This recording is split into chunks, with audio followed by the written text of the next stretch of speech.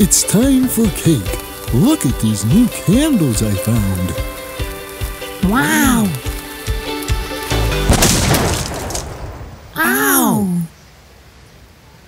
Dad, I don't think those were candles.